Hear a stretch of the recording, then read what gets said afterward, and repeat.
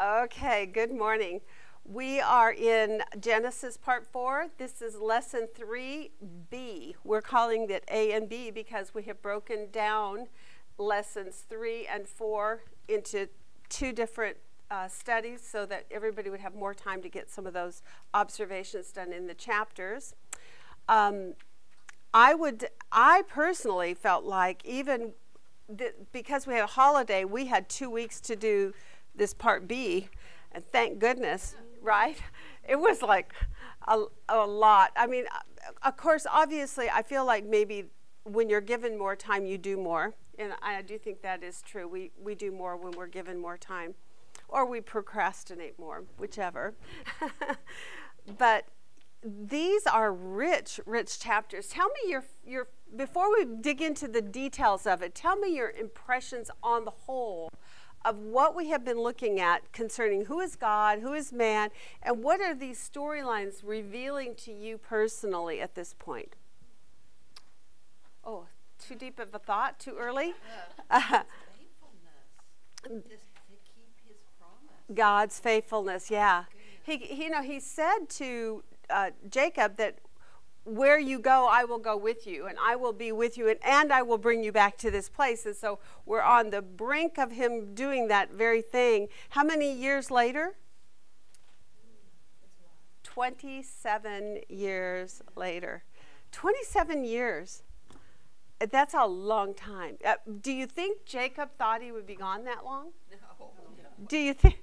Do, you know, I'm curious. Um, I'm. I'm. It's like watching a soap opera uh, or, or, a TV series, not a soap opera, but a TV series, it almost is a soap opera, but a TV series, you know, and you get one segment and then you get the next, uh, you almost can't wait to get to the next one. Okay, now what's going to happen next? Yeah. We all kind of know what's going to happen next, but have you found that doing this inductively like this changes or has changed your perspective on the storylines? In, in what ways? What, what have you been surprised or impressed? I mean, what if, what why do you think it's changed your mind or your your thoughts concerning this? Yeah. So, which of the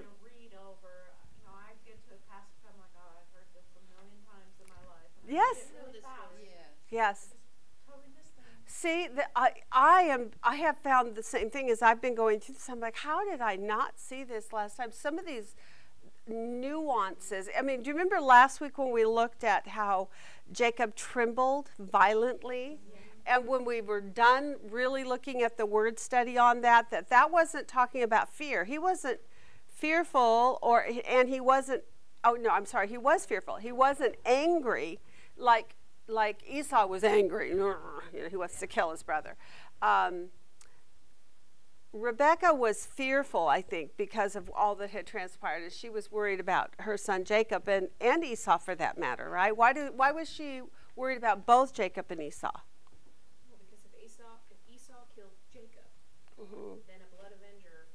There you go. For it yet, but would come a family member would come and yes. Right. The blood avenger thing was what that was really all about. And it doesn't say that in the text, but when you slow down and you do your research on what's going on there, why would she be worried about Esau dying or Esau not being safe? You know, because she thought she would lose them both in one day, so to speak, meaning about the one day event. That because if one was murdered by his brother, then, then that brother Esau, he, someone would avenge. Uh, Jacob's death by killing Esau. So that's the blood avenger. What do you know about the blood avenger now, having retalked it through? And, how, and do you see things differently about that subject at this point? Go ahead. Well, I'm just I'm just wondering, had you ever connected that subject of blood avenger to something like this story? No, I hadn't either. So we're all in the same boat on that one. I mean, I was like, oh, that's the Blood Avenger. Oh my gosh. And I read it in something I was because when I did my word studies, my word studies took me to another word, and it was a word I'd never heard before. And so then I looked that word up, and it and when the definition of it was blood avenger, I went, oh, I know blood avenger. Jesus is our blood avenger, right? Yes. We know that in the last days, what we studied in Revelation is that God will, Christ Himself is our blood avenger. He will avenge the bloods of the saints upon the world upon the unbelieving world who are attacking us and who who come at us. So and also there was that yeah, sanctuary city thing. Sanctuary city yes. So you kind of get it's almost like you can get into a, another so this is why three chapters and actually should have been five chapters in one week's homework crazy crazy, crazy, right? So, not that I'm calling precept crazy, don't misunderstand me, but I do think it's it's a tad bit unrealistic to have tried to cover this. Fortunately, we actually ended up with three weeks to do five chapters because we had last week was a holiday, so we ended up with two weeks to do these three weeks of chapters and I used every single drop of my time. I did not, I mean, I started in on as quickly as I could, and um, I hung in there. And as it is, I mean, I've got pages and pages of notes, and we probably won't get to all of it. So let's go ahead and just dive in and uh, see what we can come up with. Oh, you mentioned, did he think he was going to be there for 27 years? Yeah, right. Well, here in, what is it, uh, chapter 27, verse um, Yeah, for a short time. Stay yeah. with him a few days until you're yeah. That's good, Cynthia. You are absolutely just for a few days, son. Go up to my family, and while you're there, pick up a wife and come back. You know, yeah, like like drive through McDonald's, right? Say hi for me. Yeah, right. Exactly. Hey, hey to all the old people, and exactly.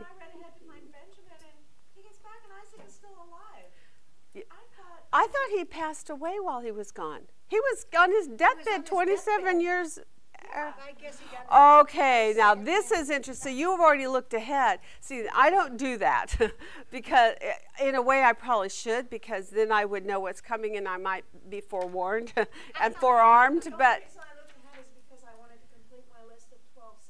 I know you have to go find the other. The twelve. We know there's twelve, so we're missing one yet. Yeah. Right? Exactly. Exactly. Well, I did. No, no, we didn't. No. We. Joseph. Yeah. I've even got I've even got my little clip art of Joseph with his coat of many colors on, just so I would catch that. But yeah, no Benjamin yet. So, and I think that that does that might happen in the next chapter on the way back. Yeah, he's born on the way. Back. On the way back, and she dies. Right. Okay. Spoiler alert. and who nursed him? That's yeah. But you know, they had a lot of they're all right exactly. They're all they're all pregnant and having babies. You know it, uh, even that's another subject that we could go into. You know we have a world and especially our generation more than than yours megan. I think yours is is starting to kind of go back the other way. But where in my generation you know women should should have a career. They should go outside of the home and get invested in that. And they didn't really honor or respect women as mothers in, in the generation that I grew up in. Um, which is one of the things that when we moved to Turkey and lived there, I was so pleased because in the Turkish culture, they still really honor the, the childbearing woman. And anywhere I went with my two little kids in tow, oh, çocuklar, oh, blah, blah, you know, they would go on and on. That's the same way I felt in Greece. Yes, so exactly. I, I felt like I escaped the pressure to have a career. Yes, yes, a wife and a mom. And one of the things that would happen to me there is when I would go to, to get bread at the bread, you know, they have fresh bread bakeries there. Oh, I wish we had them in America. And you you stand in line, and as they're taking them out of the oven, then they you know bring them over. To, so you you buy your bread fresh every single day. The bread doesn't last. It doesn't have preservatives, which is nice. It's the best bread ever. But when I would show up as a woman, and these people, after a while, they got to know me because they knew I, and I would bring the kids sometimes, but usually I went alone. They would escort me to the front of the line. And they did that not just for, at first I thought, oh, that's really sweet. They're doing that for me. No, they do it for every woman that they know is going to go home and cook dinner for her husband. so it's really a, a, a respect there and, a, and an honoring of a woman's role in their society as the homemaker and the cook. And, and so if there are guys standing in line for bread, they let the women go first because they have to be physically home cooking. I thought that was really cool. Okay, that's a sidetrack. Let's let's go back to Genesis 29. Okay, so we got a lot to cover in Genesis 29. So let's dig in here. All right, um, open up your observation worksheets. Start with that. How many have you uh, finished your at a glance charts? Have you been keeping up? I hope so. At a glance charts, you know, you have a, a list here all you're trying to do is keep your titles up to date on your at a glance chart so that when we're done with Genesis, you have got a completed flow of thought. And what is interesting is this at a glance chart becomes for you somewhat what is similar to what we do in our each of our chapter observations where in our chapters we go in and we paragraph title, right? But with your chapter titles, it's all that's in that one chapter in one bullet statement. So your one bullet statement needs to convey what, on the whole, dominates that subject in that particular chapter. So, you know, we have seen so far, you know, God created heaven and earth. We got it, right? God made man in his image. Man sinned and death entered into creation. Got it? I mean, do you see what I'm saying? One bullet statement, and, and you, oh yeah, I know that's, that's what that chapter is about. So we're all the way down now into 29. Uh, what did you title 29? What's your bullet?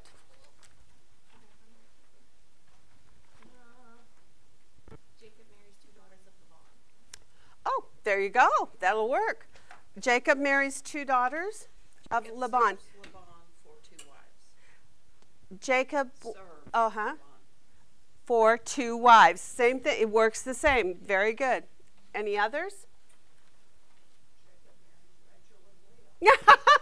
you and I are on one. We're simpatico. That was mine. Jacob marries Leah and Rachel, and I put Leah first because she was the first wife. And and you know she he, who did he love? He loved Rachel. But what happened? he got tricked. So let's talk about that. Uh, uh, verses 1, uh, 1 to 3 starts us off because where we left off last week was Jacob had deceived his father for that blessing. Then the father was uncovered. Father realized what he did. Then what did the father do? What did Isaac do for Jacob?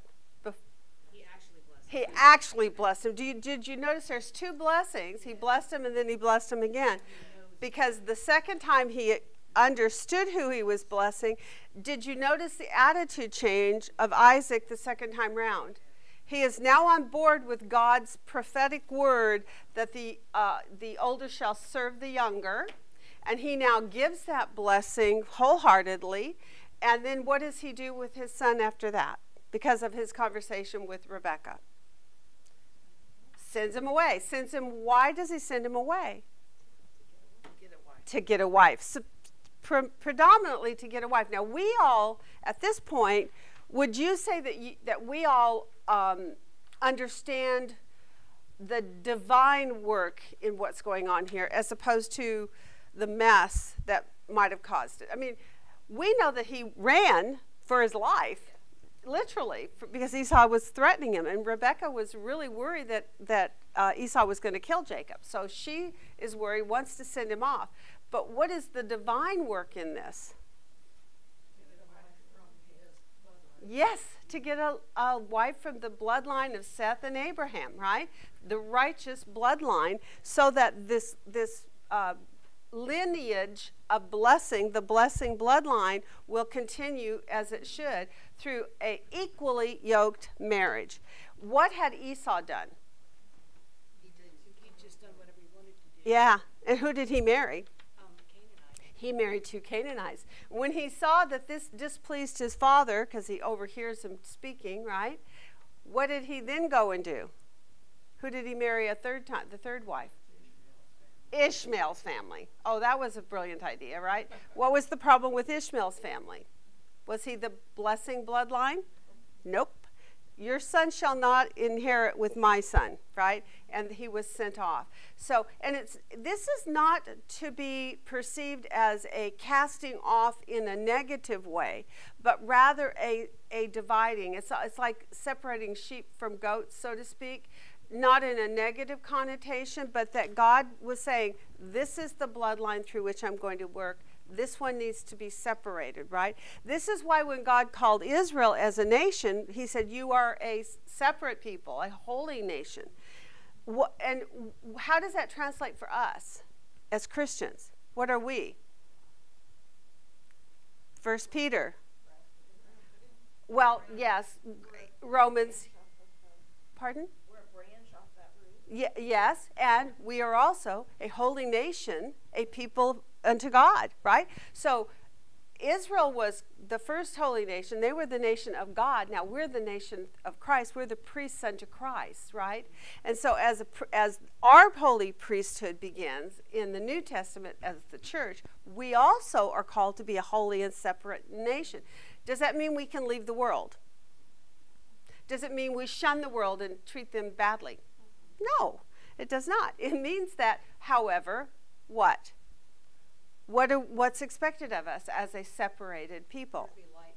There you go, light and salt in the world. So just keep that in mind. I don't want to ever leave you all with the idea of a, of a or a thought line that well it's us versus them and that's a negative thing. No, God is separating the peoples. He he sends Ishmael away because he has a, a specific divine purpose for. Um, uh, in this case, it was Isaac's lineage. Now it's gone to Jacob's lineage, right? And so Jacob now has to do the same thing, make sure that he stays a separated people, a holy people. So he went to get an equally yoked wife. So he's now at this point, one through three, what is he doing? Where is he going? yeah, he traveled to Haran or Adam Paran, or whatever is later revealed to us, to Haran, or to the east, you could say also. That's in 1 through 3. Now, what is it in 4 to 12? You see, I'm going to try to move through some of these things that are not super important in detail. Let's just keep moving. What's the next verse? 4 to 8. Yeah, he does inquire about Laban. And in, in the conclusion of 4 to 8, what has occurred? He met Rachel. That's basically that's it. Jacob Jacob meets Rachel. 4 to 8.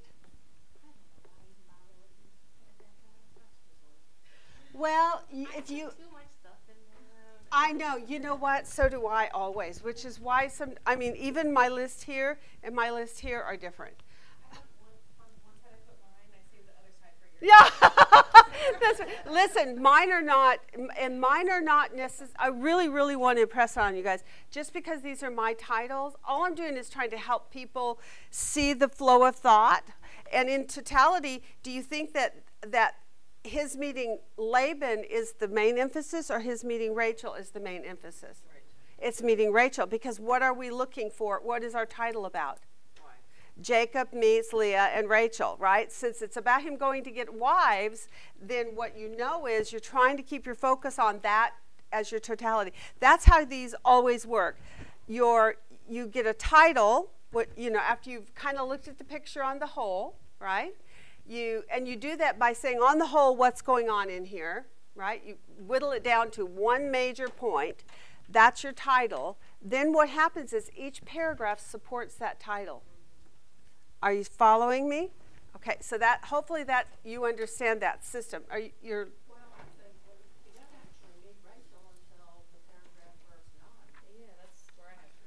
Oh, I'm sorry. You're right. I did 4 to 12. Yeah, sorry. You're right. You could break the, the paragraphs down smaller too if you wanted to.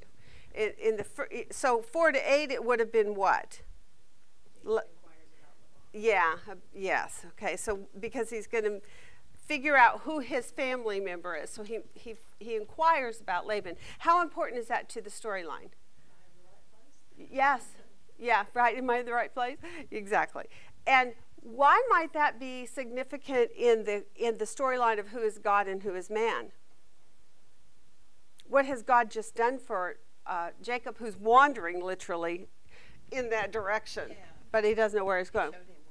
Yeah, it shows you that God was guiding his steps, right? That he actually took him exactly to the place he needed to be. It was exactly the right spot. Do you remember the story when uh, Abraham sent his servant to go get a, a wife for Isaac? Same thing. He wandered around. He said, Who are you? And what are you, you know, what family are you associated with? Oh, praise God. God has led me exactly. And he, he literally says in the text, God has led me. You can probably, and I didn't do it, but you could probably go back to that verse, bring it forward as a cross reference, because that is, in fact, what exactly happened in 4 to 8. So if you broke down 4 to 8, which is where her bullets are, so you definitely could have done that.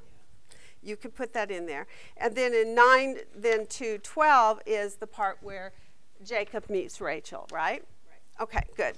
All right, so then the next one is uh, 13 and 14.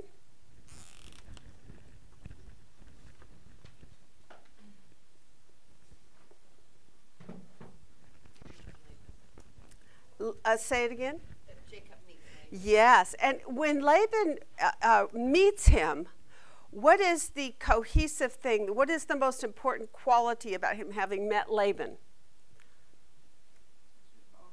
Yes, that he was family. And why was that significant to the storyline? He's looking for the bloodline, right? So he says Laban welcomes Jacob as family. Somewhere along those lines.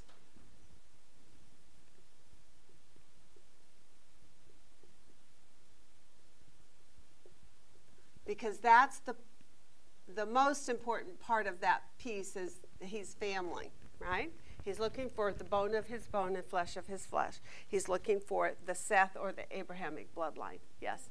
This is kind of jumping ahead, but we might not get there. I always thought that uh, Isaac and Rachel sent him there because this was family that believed in God. Well, it is along those lines as well because what you want is you. Uh, it doesn't have to do with the blood, though, does it? Really, it does have to do with what? You, what are you looking to be able to be equally yoked? The faith part, right? Right, but So- we learn later had all You're right. I was hoping this would. Uh, It was like, wait a minute, I thought that's why well, if that's shocking to you, then what about Rachel? What does Rachel do? She steals an idol. She steals his idol. So, why? I, I researched that. Okay. So it has to do with the fact that, that, um, whoever has the fam, the household idols is the heir. And she was trying to provide Jacob to be the heir of Laban because it married off. I did not know that. Didn't it say Whew. if she brought it back, she came back, then she, with this idol, then she was entitled Yes. to, Yep. yeah. I did connect the fact that it had to do with the idol was specifically a family household idol. But I did not know that the one who possessed the family idol is the one who possessed the family bloodline uh, blessing or posterity, inheritance, or whatever. It was an, it was an ancient Near East custom. Got I it. think that's why Laban was so, needed it back so Well, why he was like, why did you take it? Well, and the thing is, see, Laban should pass that on to, Leah, well, it should have probably gone to his firstborn son. But interesting that that's connected there. Okay, so Kristen fi- figures out then that the idol, her stealing the idol, has to do with the posterity or the inheritance, so to speak, of that Laban's bloodline, then following with Jacob because now it's in the possession of Rachel. Um, that changes my attitude about why Rachel took it or what I was kind of thinking about Rachel. For me, I was looking at Rachel as not being all that spiritual, but but with Leah, we're going to see there's a distinction there between Rachel and Leah in the way they're described. But knowing that in, is an interesting twist on things. The other part is Laban's very interested in this covenant so that no, that Jacob couldn't pass back over with Rachel having the idol and saying, "Give me see what I mean? Yeah. So if she has the idol and she wants to come back home. And take everything. But now she can't. covenant they made. That does add a little different twist on the covenant as well. Okay, get, Mizpah. We'll get to Mizpah in a bit. We'll talk about that. That's in two more chapters. Okay, uh, if we get there. Okay, so but we're doing pretty good. We're all the way halfway down here. Okay, so Laban welcomes Jacob and his family. We know that's significant. Now, what does Jacob do in 15 to 20? He works seven years for Rachel, whom he loves. Yeah, he does. And uh, so, in, in, in the custom then of the Near East and of that time, what had Jacob done in order to secure Rachel? Well, he He came in, he spent a month there, okay. yeah, and then Laban, uh, I guess when Jacob tells Laban he wants Rachel, then there's the subject of wages. There you go. Verse 15 says, Laban said to Jacob, Because you are my relative, should you therefore serve me for nothing? Tell me, what shall your wages be? Now, Laban had two daughters. The name of the older was Leah, the name of the younger was Rachel. And now we see this statement Leah's eyes were weak, but Rachel was beautiful of form and face. Now, Jacob loved Rachel, and he said, I'll serve you for seven years. I'll stay here for seven years and work with you. I find it interesting that he wanted Jacob to stay and that he felt like he needed him because he was bargaining for him to stay, right? It really sounds like he was negotiating on his part. Well, in other words, the assumption statement is you are going to stay, right? and therefore, since you're going to stay, should you do it for nothing? And he says, okay, well, let's negotiate. So, what we see here is in a negotiation for a marriage proposal. The marriage proposal is his wages then for serving for what's going to be those seven years, which goes into 14, right? So uh, we'll put on here, for me, I put Jacob's marriage proposal. He's a typical man. He wanted her because she was beautiful. I know, isn't that truth? uh,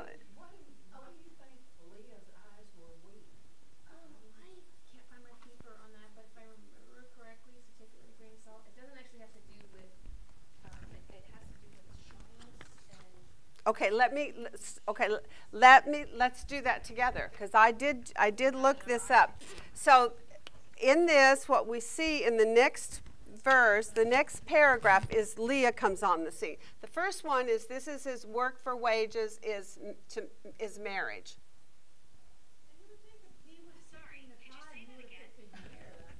Was that my phone? That could be my phone. Let me check it out here, guys. It shouldn't be me, but somebody's talking to us. It had to. It might have been your. Yeah, and the series picks up everything. That's the that's that's the evil government spying on us. Maybe they'll learn something in Bible study today. okay, 21 to 25. It wasn't my phone. At least I'm glad for that.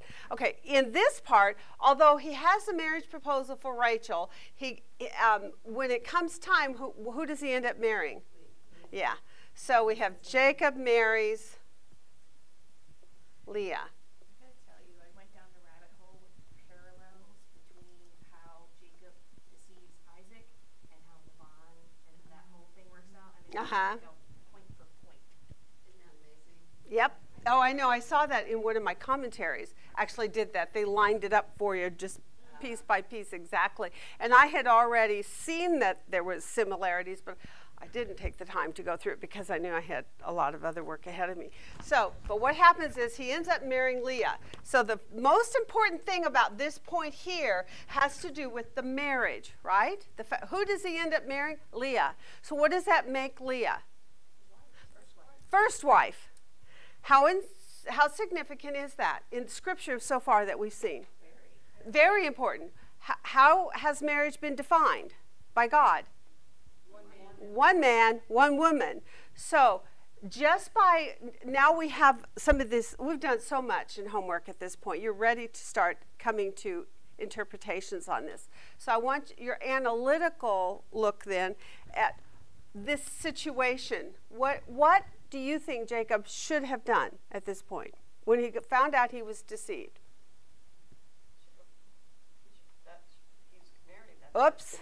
Well, it wasn't my plan. This is what I wanted. I feel cheated. However, this must be God's plan. Right, exactly. Maybe part yes, she does. She and Levi. Yeah, so in particular, the Judah one's important, and the Levi is the priesthood, but Judah is the bloodline to Christ, right? So it seems like he's he's right here at this point. He's really being stubborn about that beautiful girl he really wanted, right? And he did just spend seven years working for her, right? so and dreaming about her, right? I think, no kidding, all the lust stuff that was probably in there as well.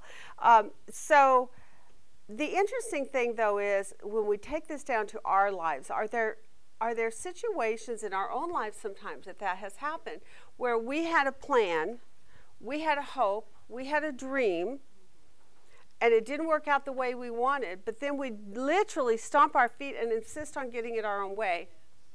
And we do, and what is the outcome?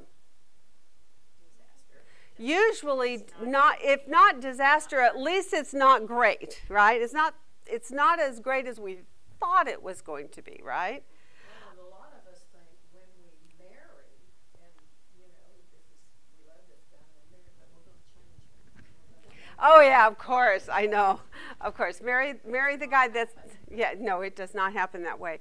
And you cannot convince any young girl that that's not that that's not true either. No matter because once they're in love, you can't change their minds. And I I, do think that there is um, possibility if we raise them with the mindset that is godly, right? That God says be equally yoked. Make sure your parents approve, right? Because they're the ones observing and they're looking and they're watching. Uh, if you have godly parents. Now, if you don't have godly parents, don't listen necessarily to the advice of bad people. However, God has still put them in your life for a reason. You got to listen to a degree, right? So you listen to your parents and you go to people who are spiritually mature and you allow them to give you their inputs and insights. So you don't just marry because you're in love.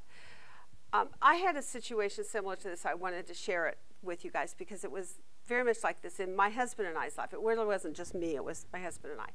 We were living in Turkey and we were about to get our next military assignment. This is common. You can request things, you get a list of two or three requests, and then you hope to get your top uh, pick, but you don't necessarily know you will. Well, we always wanted to go to Germany. We had begged to go to Germany.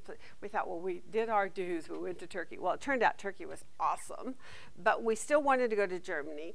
And so we had asked, and then and we had asked again, and then we had asked again, and we just kept getting roadblocks in our path. And the places that we were getting sent to, HJ did not want to go to. I mean, some of them were headquarters in D.C. and things like that. And he was like, nah, he's not political. He doesn't want to go there.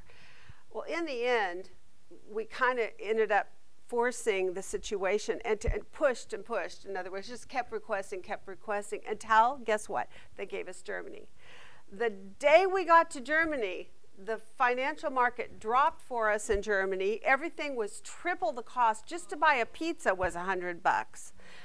I mean, yeah, it was so terrible. So, so it had gone from being this really great place to go where the dollar was strong, you know, against the Deutschmark, and then we got there, and then it was like, and on top of that, um, as as beautiful as Germany was, we never really found a niche there. We never found uh, the friendships there that we normally find in, in, our military assignments. We never really felt connected. We did get to travel, and I felt there are many, many blessings God did give us, but it wasn't the paradise we thought it was going to be. So that was an example in my personal life. When I was reading this, I went, "This is it."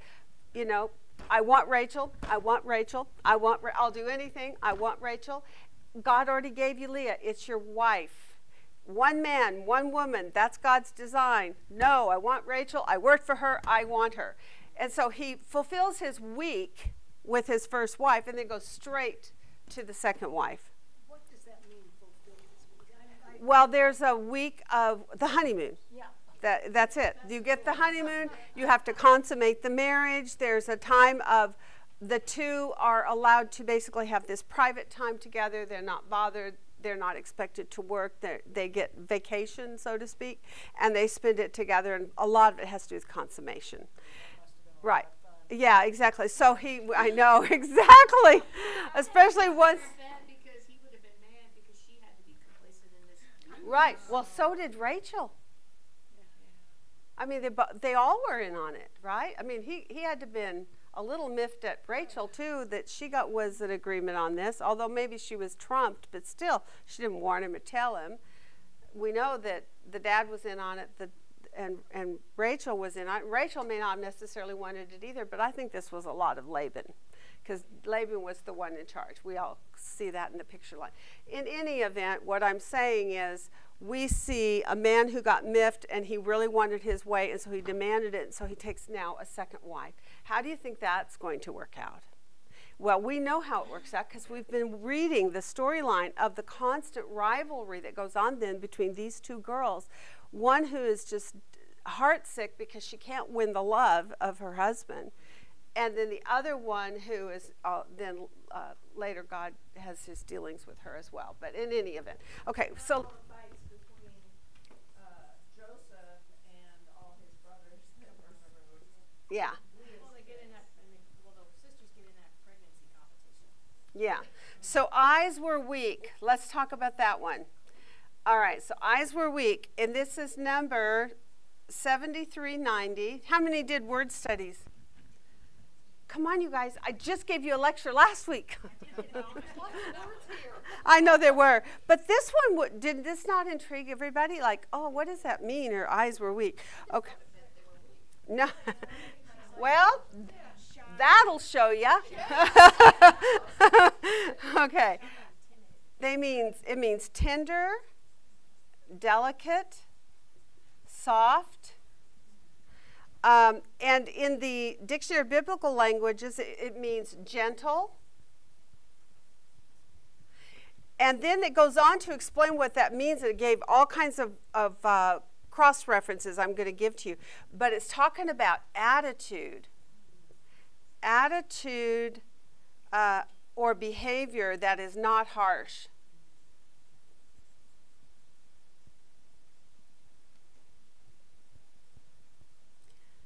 Uh, in other words, that is respond. It's kind and responsive. And s- specifically, who must you have eyes that are weak toward? Husband, and above husband, God. So the cross references on this, uh, I'm just going to read a little tiny piece because I, I want to hurry along. But it says in uh, Second Chronicles 34, 27. Also in 2 Kings 22, 19, and 20. It says, Because your heart was tender, that's the weak eyes, you humbled yourself before God.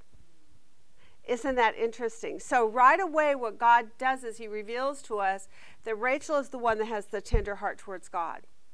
But what is, I mean, Leah, Leah has the tender heart towards God. But what does uh, Rachel have? She's beautiful. So, it's the external versus the internal. Does the form and face mean external? Did you look those up? Um, When it says Rachel was beautiful of form and face? I didn't know, but I think I assumed because as soon as I looked up the tender eyes and found out it was talking about the heart more than anything else, it was a contrast between her heart versus Rachel's heart. That's how I read that. Um, but if you find anything else out, let me know. Um, and so, and then the other thing that's important to know about this first wife is that, just by way of noting it, that Judah is uh, will come from her.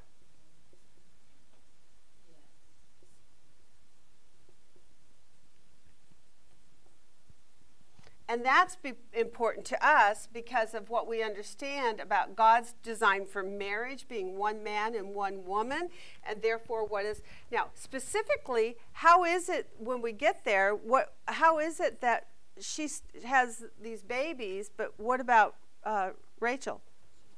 She's barren. We're going to talk about that in a minute. Very interesting. You've got to think that through and say, well, what's going on there? Why would, sh- why would God cause w- one to be barren, the one he loves the most, which you know he's spending the most time with, versus the other, and yet what's going on there? Okay, now let's move to 26. Real I say it? Sure. 18, Now Jacob loved Rachel, so he said, I will serve you seven years. I know, another seven. like, oh, the number of completeness. I'm in love with you. Seven years. He probably could have said, I'll serve you for a year. And Laban would probably said, okay. So he would have had two wives in two years instead of 14. Right. Yeah. He was swooning over how beautiful she Yeah. I know exactly. well, I guess okay. So here we are. Who is man? it's all about the lust of the eyes and the lust of the flesh, right? okay, so in 26 to 30 then what we see is Jacob gets married again, right? Now we see Jacob hmm. Got to have an eraser cuz I can't spell. But in the meantime, he's getting his concubines too. Oh, I know. Well, we're not there yet, but you are right. Mary's Rebecca. Now, this is basically just one week later. He's allowed to marry her and then serve the seven years, as opposed to the first arrangement where he had to serve the seven and then attain the marriage. He got the one week with that wife, then he marries the other, has his second wife while he's working for another seven years. Pardon? Now she's doing it the other way. I didn't even Ah. Didn't notice.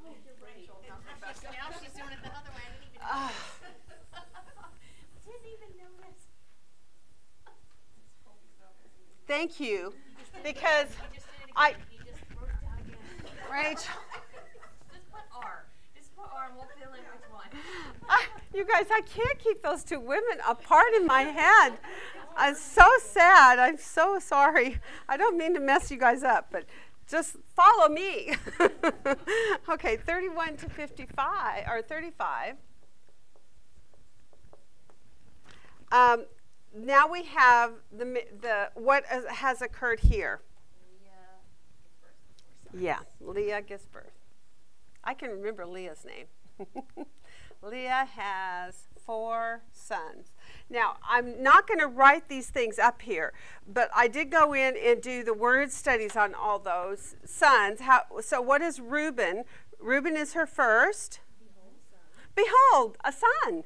All right, and beca- and then she goes on to say, "Behold, a son," because why? The, okay, so the Lord has seen her affliction. What does that tell you about what's going on in her marriage then, even at this point? She's carried a child for nine months. She's been married for a period of time long enough to conceive. But what's going on between her and Jacob? There's no love, right? There's, there's, my, and surely my husband will love me. Yes, he is. Even he's married to her, and he still likes her. Um, all right, now we're going to get into some interesting storylines when we get into these men. Okay, Simeon, what is his name? Mm. He heard. And in this context, he's heard what? I am not loved by my husband, right? So I, I, I used to think these, these names were a little more spiritual than this, but it's almost very earthly in her thinking. She's just, she is all consumed about the fact that she is an unloved wife. Uh, Levi means what? Attached or joined to. And uh, consider, considering the word attached, what is she speaking of? Now my husband will become attached to me because I have born three sons. That perfect number again, right? No longer looking for love, she's settling for just attached. if he'll just like me a little, it'd be great. exactly. You know, it's really sad because I do think there are women who are in loveless marriages, and boy, would they relate to to Leah and her heart in this. This is very sad, and it really makes me angry with Jacob in this case because, I, I mean, I don't know that he didn't care for her. I mean, I think he treated her fine. He probably wasn't mean to her, but Isn't the wording that he loved Rachel more. And that's what that's the word that caught me too. So it's like the, there are different kinds of love though. There's a familia the family kind of love and i think that's how he really saw her. She is part of my family. I love her. I love laban. I love you know even though laban's not a very nice person. Okay and judah is the fourth child right? And it means praised. Yes. Do you guys remember when we did Daniel and we talked about Judah from the tribe of Judah and the contrast in there? I had something to do with um, the two worlds of the two kinds of gods that were going on with Nebuchadnezzar and then with him. And we talked about Judah and the word Judah meant to throw praise. Literally, it's not just praise; it means to throw praise so he's, she says now with this fourth child, she seems to be reconciling a little bit with things. And what does she say here? This time I will praise the Lord. This time I will praise the Lord. Um, I had a, if I can add something on the names, I know we're gonna get down to when she has kids again, but I, I pulled stuff out, I put this little thing called Beauty's Journey Through Her Sons. And when you do the names, so like that first three is all about, you know, hope that Jacob is gonna love her. Mhm. By the fourth son, she realizes, oh, I am loved, cause God loves me. yes. And so Yeah. then from that point forward, any child she births herself, well, the others also like are- is always like it's um, I will praise the Lord. God has given me my wages. God has endowed me with a good gift. So it's all about God as opposed to anything to do with the future. Yeah. As, got, as she gets older, she, she stops hoping for something she's never going to get and she settles for God's love, eh, which is a, a far better love because it's a secure love. Verse thirty-five is kind of a ironic because she is praising the Lord, and then she stops bearing. Yes. Like her womb is closed. Yes, and now her womb is closed. Now, this is an important part of this storyline, though, guys, because one of the things that we are seeing in here is how wombs are opened and wombs are closed, right? And we know that this is who's doing?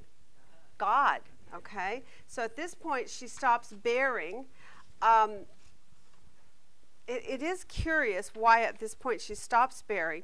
Um, but it will become a temporal thing, right? My one of my thoughts though is because we'll get into the next chapter 30 where we're ready to go now. We've gone through this first chapter pretty quick, but we got a lot more to talk about here.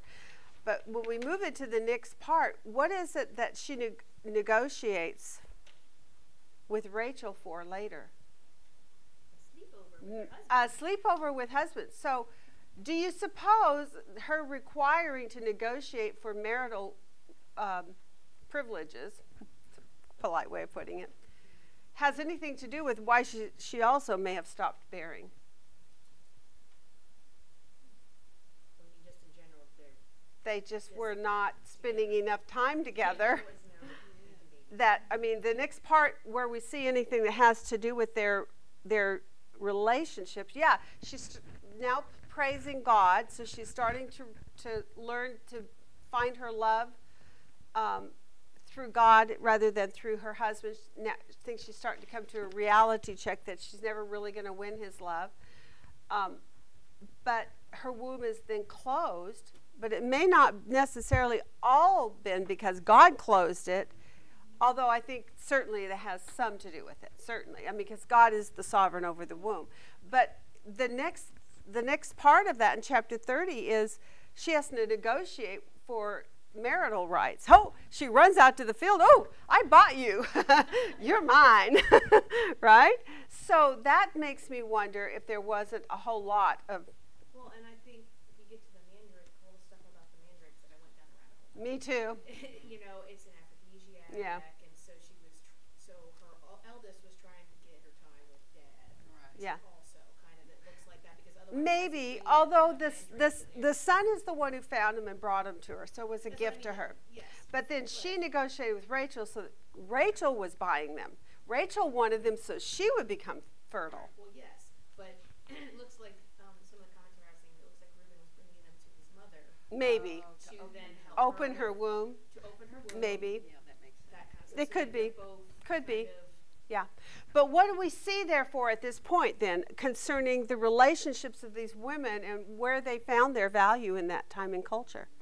And babies. Having babies. As long as you're as you're producing babies, don't forget that, Megan, have lots and lots of babies. the more babies, the better. We, we want more. I'm, I'm, I'm, I'm an advocate for Luann. Uh, more grandbabies, please.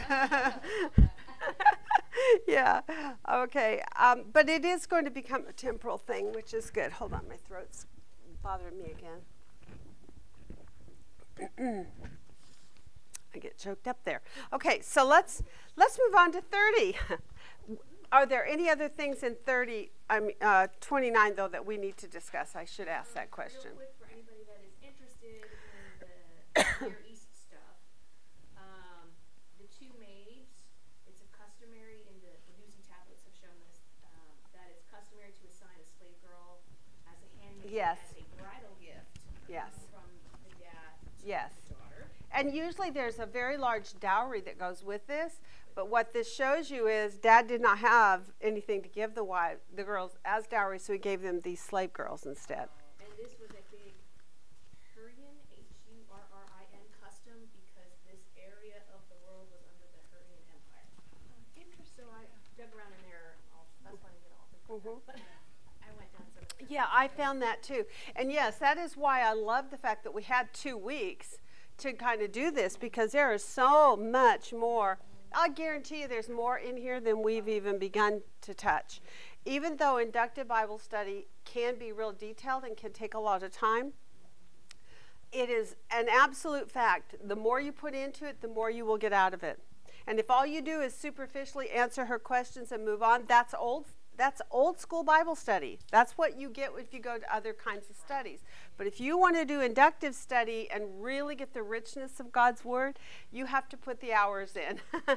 and it can take some time. And sometimes you do a lot of reading. I, I did a, quite a bit of reading in my new commentary, which was awesome, by the way. Thank you very much. And um, also in a book called The Names of God. And I was just reading through it, and it's such a good book. Um, and in the end, I didn't really find any, ah, that's awesome. You know, it was stuff we already knew. Um, but sometimes you spend a lot of time and you don't produce a lot. But other times you're like, wow. And there were some real good things in the other chapters I found. Uh, tell me the name of the book again. Um, I know, I can't remember the. Um, Fru- Frukenberger. We'll get it for you. Yeah. I'll, I'll try to send it to Kristen, but it's a very good commentary. It's on the book of Genesis, and the guy, and it's really literally a expository teaching line by line on what's going on there. And um, you know, Fruchtenberg. um, the guy who taught Andy. Andy Yes, Andy Woods' mentor. Jewish, yeah. Yes, it's, it's so it's from the Jewish perspective because he's got that background. He knows all these cool things. So there's a lot of things, and I can't say that um, there were a couple of things in there when I read them. I'm going, I'm not sure. He's stretching a little, but that's okay. However, um, that's how God uses all of us. We all have our own little insights and thoughts. And I love that God does that for us because we need one another that way, right? Um, um, my dear friend, I always refer to, who's not with me anymore, but she was has always been really good at scouring the internet for articles, for links to different uh, uh, like sermons or whatever, and she often has the most profound questions too. Her mind just works different than mine. And so, the, to me, that's super important because that's what we're all about. I need you guys, and you need me, and I need you, right? And we all need Jesus and the Holy Spirit to make it all make sense. So, that's what inductive study can do for you. Okay, so any other thoughts on chapter 29?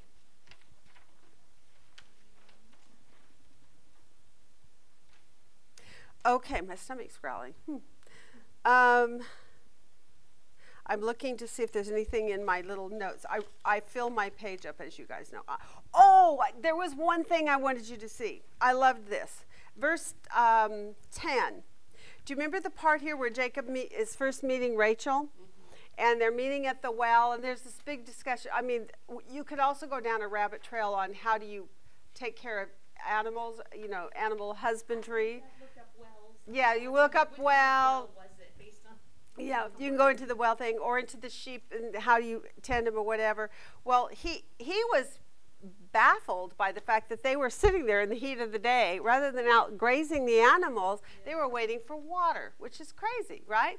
But why were they waiting for water? There was a heavy stone on. It. No, it's not Laban's well. It belongs to the community. But what did it say? That they says we cannot until all the flocks are gathered and they roll the stone from the mouth of the well. Meaning they needed a lot of guys to move that stone because what? Why? The stone was what? Heavy. So what does Jacob do? He gets one look at Rachel. Woohoo! Watch this. And what does he do? All by himself. He moves that very heavy stone. What does that tell you about Jacob?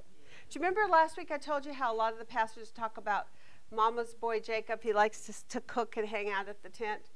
This guy just picked up a stone that all these guys sitting around are waiting for help to move the stone. He just picked up a stone and moved it off that well and helped them water all those animals all by himself.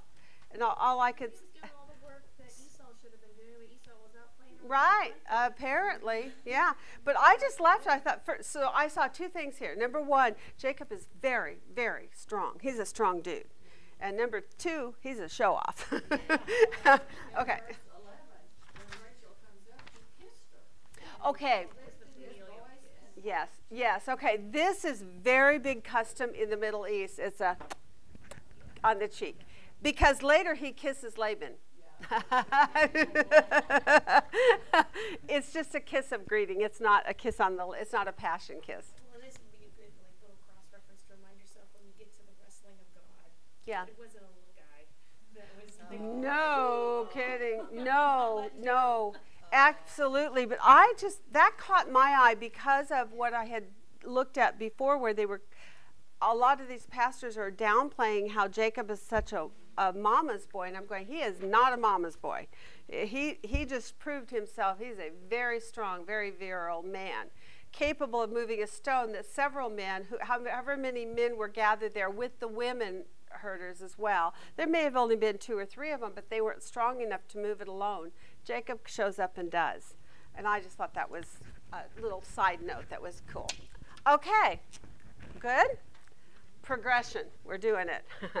okay, and our title, let's write the title down here again. Um, this was Jacob marries Leah. And if you wanted to, instead of Leah and Rachel, you, you could see Leah, then Rachel. I kind of like that better now that I've thought about it for just five seconds because that to me is a significant point. Should this marriage with Ra- Rachel, okay, that's the right name, I had to double check. Is this name, is, is this marriage with Rachel, should this have ever happened? It really should not have. He should have said, The providence of God intervened. I am now married to Leah. I should have been content with that.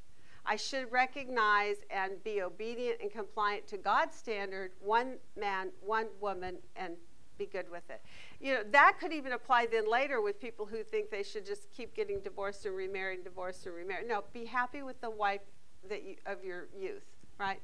Stay married. Okay. All right. Now, that's never greener. okay, now I br- broke down the next couple of chapters into very large chunks and then gave subpoints underneath. Because if you wanted to, you could put together verses 1 through 13 and then 14 to 24 and then 25 to 43. So you'd really only have three paragraphs if you wanted. Okay? But so, and the reason I'm bringing this up is again to, to demonstrate to you there are different ways to do paragraphing. It, it's all about how detailed do you want to be, how much do you want to see for yourself when you go back and look at your observation worksheets. Your observation worksheet uh, paragraphs are there to help you see where you are in the storyline and some of the important points that are being brought out in that story. We know, though, on the whole, what is Genesis 30 all about? What's happening in chapter 30 to Jacob? Or for Jacob, I don't know how you want to say that. Getting more kids. He is. So, book. So his almost 12. At the end of it, we've got almost all 12 kids here. So Jacob's family is growing, right? Is there any significant point though that's brought out also in the storyline along that? Okay. Okay, that's just one point though. Is that the only point in here about the what happened before that? What's going on between the two sisters? This, this rivalry. And they use the word wrestling, which I thought was interesting because of what will happen later with Jacob when he has to wrestle, right? He has to wrestle for the affection of God, in a, in a so to speak, if you want to make a comparison, right? I mean, it's obviously God's love is always abundant, and he's he longs to bring people into salvation. But I do think he, God's making a point there that uh, he had a wife who was wrestling for his affection all those years. And so God is now, you know, making him basically have to go through a wrestling of sorts himself. I think that's interesting. Okay, Not just two wives, they're two sisters. they're sisters who's broken up their relation. with each other anyway. Right, right. They may very likely have a have a, a you know, well, we know their personalities are very different. One is a tender-hearted one. The other one's a diva. right? yeah, yeah. Okay. So let's. So thinking on that, on the whole, what we're looking at then is Jacob's family is growing, and there's rivalry in it. Right? Has to do with rivalry and growing of his family. So we're gonna we'll title that at the end here. Let's start with one and two, then and break it down. The first two verses. Um, these are these are 1 through 13 these verses that we're going to break down right now these are about the wrestlings of jacob's wives right? And, and what the result is of that. So what happens in 1 and 2 Rach, what happens with rachel?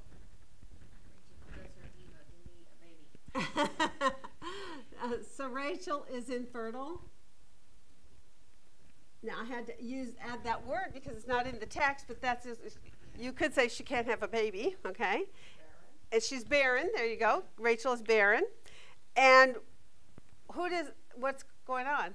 She's demanding that Jacob give her the baby, like it's his fault. Yeah, and she blames Jacob. That's interesting. I wonder how much attention this girl could possibly get. So, what is Jacob's res- reply to her? And I'm going to put this note up here because I do think this point is really important here. What does Jacob say?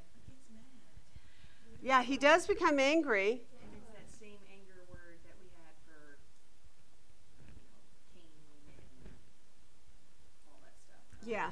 And what does he remind her at this point about? It's God that does this, right? So, what does this tell you about what Jacob knows about wombs? That God is in control of the womb. How important is that going to be to the rest of the storyline that follows this?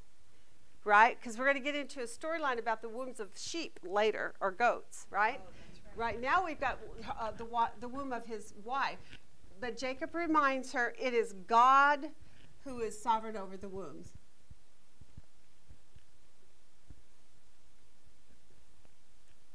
He opens and closes wombs. I think I'll put it over here. Try save some space. Okay, so that's a significant point. I do think that you have to kind of bring out in this storyline, even though it's not necessarily a title for that segment, because the storyline is about what's going on in the life of Jacob here. But I think that is a profound thought that if you don't have it on your observation worksheet anywhere, may, either highlight that verse in some way. I just colored it with orange on mine so, so that I could see that it, is God who has withheld from you the fruit of the womb. Because he, he is recognizing that God is the one who's sovereign over wombs. Now, he seems to have forgotten that a little bit when we get to the next part, but eventually God's going to make that known to him. Um, and uh, I, I went to on my rabbit trail to Deuteronomy 28, specifically in verse 11. It says there, God will bless you in the offspring of your body, your beasts, and your produce.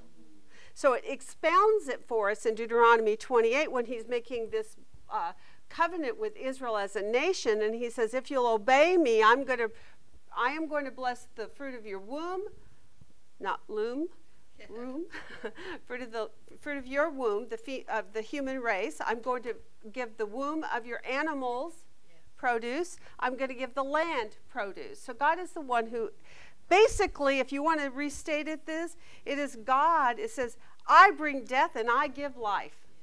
I am the author of life and death. I am the sovereign over that. No one else. And it will not matter what your tricks are because we're going to get into a little trick down here in a second. Now you can you can apply these these medicinal things and there's nothing wrong with doing that if that's going to help your health and it's going to improve your odds, right? But but believing that that's your salvation and that God's the one and that that that is the thing that is going to give you a, a baby in the womb is a false hope, right? Who do we know is the author is God, and that's what uh, Jacob seems to know that fundamentally, and that's an important point to get into. In Genesis 20, 17, and 18, it, it has already told us uh, at that time that was um, Abimelech, and remember he took Sarah. What did God do to his household? He closed the wombs of all those women. So you might want to put those cross references uh, Genesis 20, 17, and 18, and then Deuteronomy 28, 11. Even just those two. I, you could find lots more, but those are two that I thought were helpful when, as far as support verses for the fact that Jacob reminds her that it is God who is the one who's over the womb. Uh, sorry. And uh, and in Genesis, or I mean Deuteronomy 28, those first 15 verses are the blessings he promises to Israel if they will obey. Okay, that that was that conditional covenant that God made with that nation. Okay, now what happens in 3 to 8?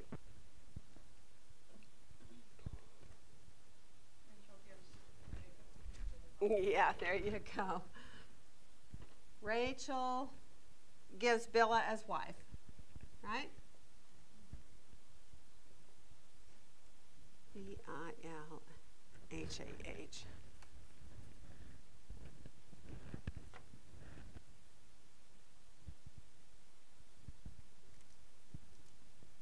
Okay, and basically, what kind of a move is this? Does this sound familiar to us? Who did this before? Sarah. Did this when she was impatient with God concerning her son Isaac, right? That hadn't come yet. Genesis 16:3. Yep, there you go. Genesis 16:3. Perfect. Okay. In desperation, basically, she does exactly what Sarah did. So she's desperate, right? Um, which is understandable at this point. Her her older sister has outshined her by three or four children already, um, and so in this case, what is uh, Bilhah for Rachel? She, she's Oh, her handmaid, a surrogate. She's her surrogate bearer for her children. Bilhah, if you care, um, means troubled, timid, or terror. That's what her name means. I hope she was a terror. no, I don't really mean that. okay, okay, and then the next part of that though is Bilhah does what? Uh-huh. She has two sons, right? Uh, Ra- uh, Rachel, and who names them, by the way? Rachel names them. Did you notice that? So again, this shows you the surrogacy program is on, on full swing. So then she has Dan and Naphtali. All right, You want to know about their names real quick? go ahead. Yes. So Dan is um, one. Well, okay, uh, the names are over here, but I had like some extra notes that that in this regard of her naming, that Rachel is giving credit to God for this baby of Dan, even though it was her doing it, because it's actually not Mhm. her womb. And then uh, Naphtali in wrestling is basically saying, okay, I'm in competition with my sister.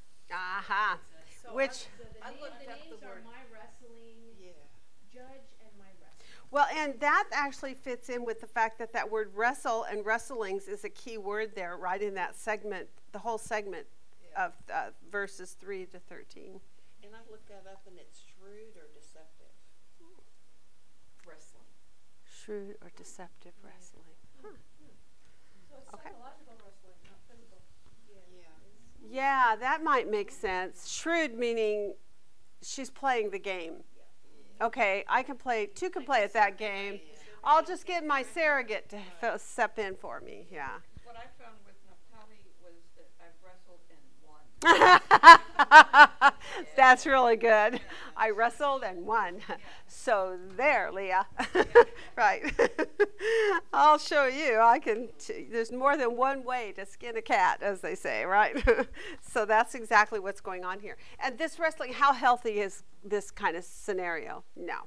It's almost like the whole life of Jacob is is it's deceiving, it's wrestling, it's it's lusting of the eyes and the flesh, it's it's withholding what's due someone, it's um, not extending love to the first wife whom he should love. I mean, it, it, he's kind of a he's not the pillar of a guy. I kind of had him in my head. I was going Jacob, yeah. I'm like no. No, he's. You're right. That is exactly the distinction. I think you're right. I think um, it's kind of like remember in the New Testament with the um, John. He was the son of thunder, right? And later he's called what? The one whom love who loves. Yeah. So what a change God can make, right? Okay, so that's nine to thirteen next. So because we've said Leah has stopped bearing children back in chapter 29, right at the close there. So now what does Leah do? Leah says, Ha, two can play at that game. That's when you know it's a competition. Yeah. Heirs have already been established. She's I know. had Four sons. So she gives Zilpah as wife. Yeah. And these are handmaidens, right? Poor, poor ladies that maybe just did not want to do that. And what does Zilpah do- do? Two boys. Gad and Asher. I can't spell these names. These are, She has four sons, but she's still insecure. I know. Her husband doesn't act like he loves know. She has two more sons for her, Gad and Asher. Do we have an update on that? Do you still have your list? I have those lists too, but they're buried in my notes, so Now what, and I checked them. So I'm really happy you did them. Good fortune or truth. And then Oh. Asher is happy. Well, maybe it has to do with the number of kids she now has. She had four, she's got two, that gives her six. That's a troop. And then Asher means happy. Uh, and now she's beginning to be happy. I like that. So, um, okay, good. And then we've got 14 to 21 next. Now we come into this very interesting part about the mandrakes, right? Did how many of you remember the mandrakes on that movie that was out? Do you guys remember the Harry Potter movie? And they pull the mandrakes out. They all have earplugs in so they don't hear the sc- screaming. It's hysterically funny. Not that we should be watching that show, but but it was around when my kids were little. So, yeah. So I saw in, it was in Song of Solomon, seven thirteen, called Love Fruit. Love fruit, exactly. There, I got all kinds of pictures on it, and there's different things, and there's all kinds of different things that the mandrake. Not only the mandrake fruit is to be eaten, which I think is probably what maybe what they were talking about, but the root also can be pulled up and can be ground and used for different medicinal things. So on the whole, though, mandrakes on the whole, they are an aphrodisiac. They are a fertility drug, so to speak, of the time. Um, they have to do with um, uh, also health, the health of the gut, the health of all kinds of things, right? And the reason they thought that it was good, which I thought was kind of fun, was mandrake was also thought to cure female infertility because Yes. its fork-shaped root resembles a A baby. thighs. No, Oh, a woman's woman's. thighs. Oh, that part I didn't hear, but I do know that the mandrake, and I had a picture of it in my in somewhere. The mandrake root also can look like a baby. It has a rounded head, a little body with two little arms and two little legs. It looks, and in the movie I was referencing, when they pull them out, they're and they're screaming like little babies. Yeah, I know. What can you say? It's, see, these things get in my head and I can't get them out. Okay, okay. So mandrakes. Let's talk about that then. So 41 to 21 is um, Rachel is negotiating literally, she negotiates Jacob for mandrakes. Isn't that interesting? So, what's interesting on this point is this means, thank you, this means that her sister is not getting the affection she wants, which is what I mentioned earlier, right? So it could be part of the reason she stopped bearing. Um, and then, of course, God apparently has closed her womb because it literally says that. Um, so Rachel is so desperate and she wants to have a baby, so she wants to get her hands on this fruit, which is known at least superstitiously or for whatever reason. Um, and they actually do say these things do have some medicinal benefits, but still it's God that opens the womb. That's the bottom line. You can do the medicinal things, but still, if God doesn't open the womb, you don't have a baby. So she has to negotiate, though, just to have time with her husband. That's really sad. So, Rachel. But it's Rachel who initiates this. Rachel is the one that's negotiating. I'm sure that um, Leah was very happy that she had them. Rachel negotiates. Jacob for mandrakes. And when she wins, she runs out to the field and says, You're mine, right? I bought you for hire. You belong to me. Okay. Which doesn't seem to phase him a bit. He said, Okay, fine. okay, mandrakes. Let's do this. Number 1736. It literally says it's used for increasing uh, desire and enhancing fertility.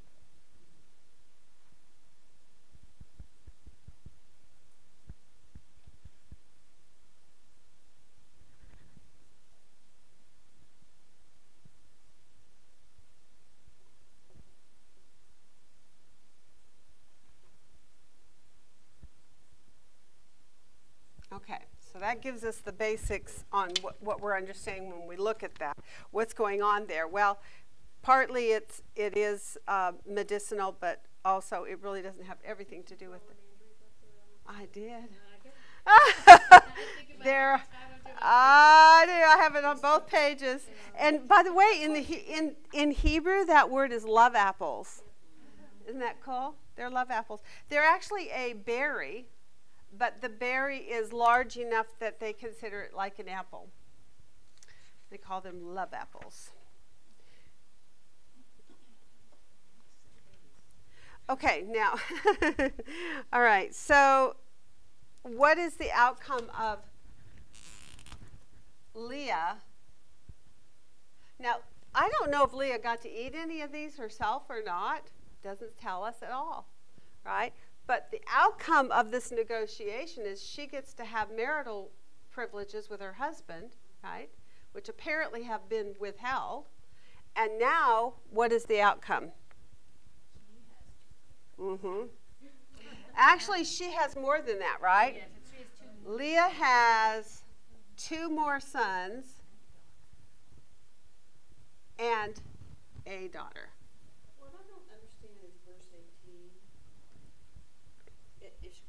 Uh-huh. means hire. God has given me my wages because I gave my maid to my husband, and she named him Issachar to hire. So what does her maid have to do with the birth of this son? I'm not sure. Does it, did anybody get time to look for that information or what that might? I just took it as that was a sacrifice for her to give her husband yet another wife uh, that wasn't her. That's how I looked at it. God is telling her back for that. Yeah. And, and so God's paying me for. For being generous. For one thing, you know, these maids, if they weren't given as wife, they would not necessarily ever marry, I don't think. I think they, they stayed in the house unmarried. Uh, so in one way, it would be generous so to Zilpah, so but considered his wife. Now that he marries them, they are a wife, but they're a maid wife. They're they're like a concubine wife, okay. Right? They're not considered wife wife. Wife is what Rachel is, and wife, but real wife in God's eye is Leah. Leah is the wife wife. Rachel is a second wife, and then these other two are maid wives or or handmaiden wives. And so, and there's literally a stat. There's Right, the, the traditions of man, and has to do with status and where they are. So positionally, as far as status is concerned, if you, if the handmaiden marries their master, it does bump them up in their standing. They do get a little more privileges, probably. For one thing, they've been bearing him children, right? Um, but they're still maids. They're still in that status of sort of slaves, right? Okay, I looked up the word wages, good. and it, um, it's a, it's fair reward for service. And I, I took it as reward, that God gave me my He gave me my reward. And the reward would be that she was generous enough that she wants her husband to have more children. She is generous to, to Zilpah by giving her to have a husband so that she can bear children, which gives her high value. Because what we know about women in that day, the value is if the more children you have, or even giving birth to even one child at least, anyway. Remember Sarah's delight with that and how it had removed her disgrace? Okay, so for these women who are maids, for them to be able to bear children also does that for them, right? Okay. I mean, that's as best I know, and I didn't see anything that popped up on my um, papers or what or my research. But Also means that those women have a son to take care of them when they get older. yes, that's a possibility too. Yeah, yeah. Okay, now, and uh, you know, the thing is about these maids, they never leave the house. They're there until death. So whoever's the patriarchal lead would always care for them. I mean, they would always be under their care. It would be Jacob. Well, then whoever takes the place of the patriarchal, in this case, he's got 12. yeah, then he, one of them would be his. Okay, so now we get to 22 to 24. What is, did you notice that uh, word at the beginning of the sentence?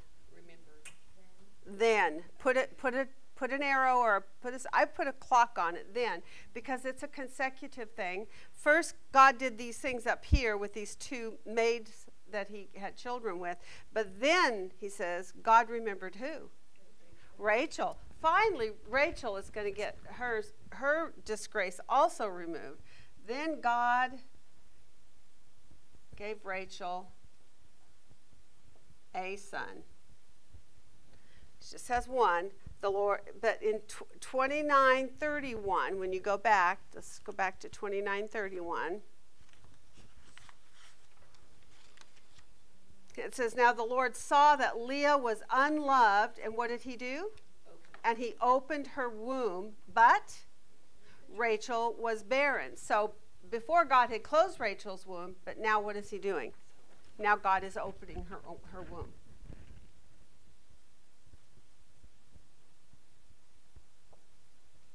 Now, this one it can be a real um,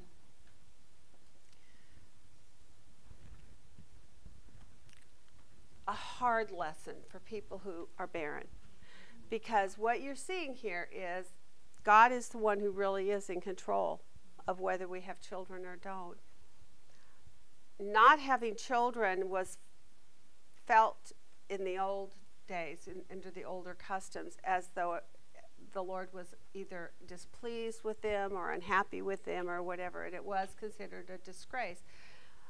Do you believe that's true in every situation where a woman is barren? That that means God is displeased with you, or that you are a disgrace in some way, or that you're not favored by God in some way? So, how would you handle that in a conversation with someone? Avoid it. Yeah, there you go. That's true. But I can tell you, I have plenty of women who come to me on this, and I have had a very, very dear friend recently. Um, I won't go, I won't give names, but she has been barren for a long time, and the Lord now has given her a child through adoption, which is great. Um, thankfully, she has has that relief because now she feels really fulfilled and happy. But what do you say to the woman who never is able to bear her own child? The one that loses, like my mother had a miscarriage. Yeah. I lost a baby. My daughter's lost twins. Most of us have lost one. And the same issue comes up with any, you know, cancer or, Yeah, why me? Why me? yeah, is God, True. any illness, is God angry with me? Why did Possibly, yes. But I do think this subject of the barrenness of the womb is especially hard for women. Men don't relate, they don't get it. So there's not going to be a lot of compassion or understanding at home on the whole. I mean, they may to a degree, and they want to try to understand, they just can't. Um, not fully. I mean, they do try, though. I think men, many men have enough of a heart that they they try. But I can remember going through a period in my life where I didn't know whether I would have a child or not because of a lost first pregnancy and the seriousness of the medical issues concerning it. And I didn't know if I would ever have a child. And I was desperate. I went to deep, deep depression. I mean, it was really, but I can tell you the end of that, that wrestling in my life was my salvation. So that was a really cool outcome. I mean, God let me go through that darkness to bring me into something. But I don't know that I would tell somebody, oh, well, God will give you something really good at the end because that's not going to put a balm on their heart at that moment. So, So what do you say? yeah, good question. That's what I'm asking. I mean, I'm no, I have no real answer myself except that that you do, you know, we you, we do know the love of God, and we do know that that's the the foundation in relationship with God. And God does not withhold good things from those he loves, right? Every good and perfect gift is from above. But there is a sovereignty of God's hand over everyone's life and a designed purpose for everyone. Um, I don't know. Okay, well, we'll move on. Think about it. Slightly different subject. Mhm. I keep wrestling with the fact that we believe that Jacob should have just been happy with his first wife and not have these other three wives. Uh huh. And yet God opened their wombs. God made them the mothers of Oh, good, good points. generations Mhm. that are still going on in Israel today. You know, the great tri- 12 tribes Revelation. of Israel. Yeah. Rachel, her son Joseph, saved the whole rest of the family. Uh, Judah would have died probably, and the line of Jesus would have been gone if it wasn't for Joseph, who Right. Yeah. Okay. Okay, and in a way, in a way, what you're saying there actually is right in line with what we would even have a conversation with a woman who is barren. What is going on here in God's plan? What is you know, if if we have an attitude, and I even I before my salvation always had an attitude. I grew up in the church. I always knew God was sovereign over life and death, and that was why I was so mad at God because you you are the one that's sovereign over life and death, and you allowed me to lose this child, and so I was I am never speaking to you again. That's what I told him. And here I am. so what did he do? He saved me and made me a teacher. So now I get to talk every day about. Sorry, Lord. You, he, I'm sure he laughed his belly off. You know, when he heard me say that. But that was because I understood that. So, what is God doing?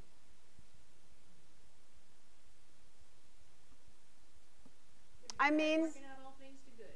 thank you. He does work all things together for good. If, if Jacob, I would imagine if Jacob had only stopped and didn't marry Rachel, Rachel would have been married off to someone else and probably would have had kids. Yeah. How many of these patri- how many of our patriarchs have had more than one wife? So far. A lot of them. And what's going to happen with David and Solomon and some of these others down the line? I know. So, what does that tell you about how God operates within the realm of human uh, systems? He uses us in spite of our. Thank you. That was the word exactly I wanted you to say. In spite of ourselves, He still works out His His goals, His His design plan and purposes. We can do absolutely nothing to thwart the work of God. Nothing. So don't ever take that guilt upon yourself that says, I messed up, I did this wrong, they'll never get saved because of me. That's not true. Even even if you do mess something up, God can make it for good. He will make it for good. And his what, what is so awesome about our God is because He's sovereign and because He's outside of time and space, He sees the end before the beginning. He knows every day. What does it say in Psalm um, 139? He knit us together in our mother's womb. He knew every one of our days before even one of them came to fruition. So God looks at our lives at the end, looking back, and He allows our free will to operate. He, he allows Jacob to make some bad choices. He allows Jacob to even be in his st- the stubbornness of his own heart towards Leah. He allows Leah and Rachel to be at odds with one another. But in the end, all of this is, as I said before, the way the girls are wrestling with one another, the way Jacob had to even deceive in order to get that first blessing to begin with, and then had to flee and is gone for 27 years, all these things God knew. And God is going to use them in spite of Jacob, and in spite of Isaac, and in spite of Abraham, who threw his wife under the bus numerous times, right? God, in spite of our weaknesses as individual Christian believers today, in this world today, He works through our messes, through broken vessels, and He accomplishes His purposes in each one of us. And what's amazing to me is how every single life matters to God. Isn't that an amazing thing? It, you may think you're insignificant in your part or your work or your ministry or your marriage or your family, whatever it is, you may feel insignificant and even unloved to some degree by certain people in your life. But God works through the mess to accomplish his will if you will submit to him, if you will if you will wrestle for his love. Uh, this precept inductive Bible study is wrestling. this is work, but this wrestling pays off big. Uh, you know, what is it that's going to get us through these end times that we are approaching right now that we're really in?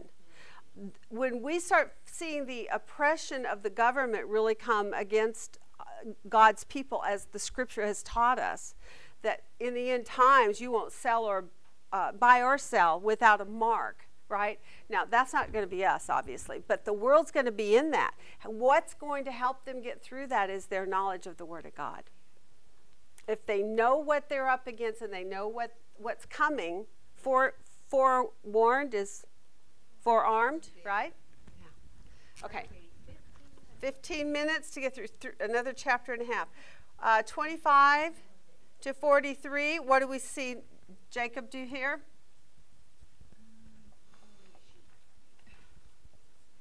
He negotiates again, right? For what? Wages, literally wages. He negotiates for wages because up to this point, has he gotten any money? Has he gotten any profit other than wives and children? So he's now at a point where Laban wants him to stay. He wants to go home. He feels the call of God. Uh, and he says, No, I want to return home. In 25 and 26, he says, I want to re- return home. G- uh, give me my wives and my children for me to.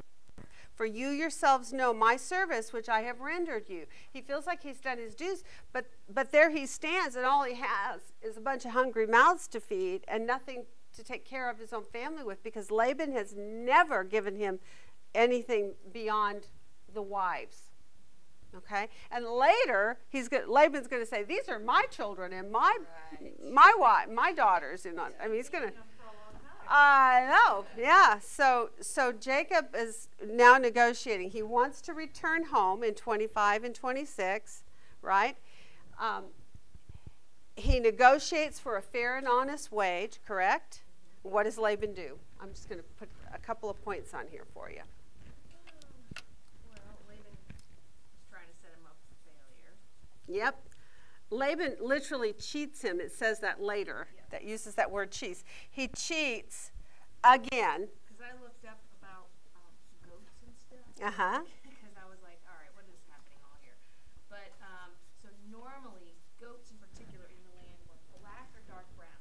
And they very, very, very seldom had any white or any spotted white. hmm Um, and so then Jacob gets started on his, you know, your wages are going to be the spotted and the speckled and whatever. And Laban sends him and gives him basically a flock that is unspotted, unspeckled, unstriped, is all solid. I know. So first he says, "Okay, you're going to get them as your as your wages, right?"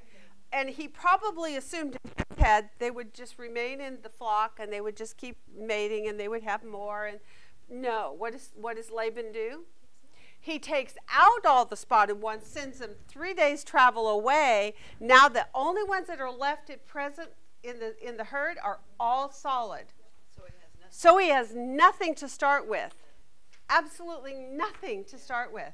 How unfair was that, right? But what happens in the in the end of it with Jacob? Jacob prospered. Yeah, he exceedingly prospers, right? He prospered.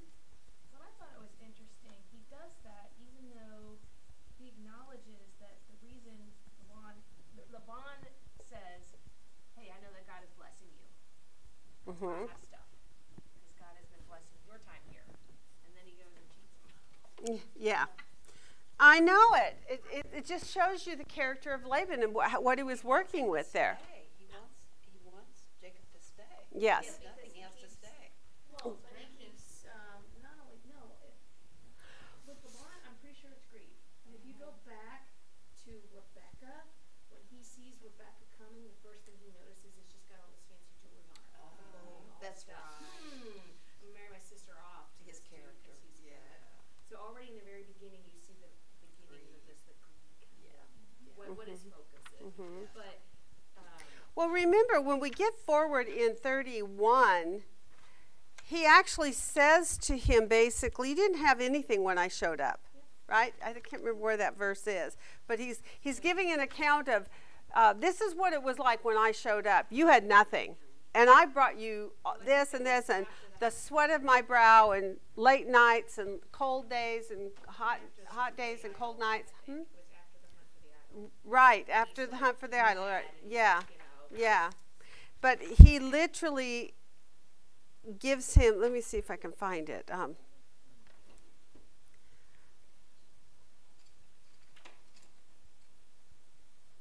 oh, where is it?